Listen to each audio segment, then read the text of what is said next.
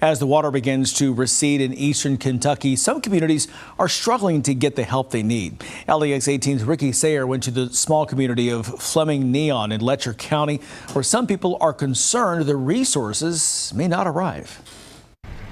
I'm Ricky Sayer in Fleming Neon. There is still so much water coming down the creeks here that is getting into the sewer system and coming up through the storm drains. We're about three hours away from Lexington, and there is so much damage here in this town. You look to the right here, and they're still taking all of this material out of these businesses. The police chief told me that all of their downtown buildings have been damaged, many of them beyond repair. This here was an old movie theater, and you can just see all of the damage here.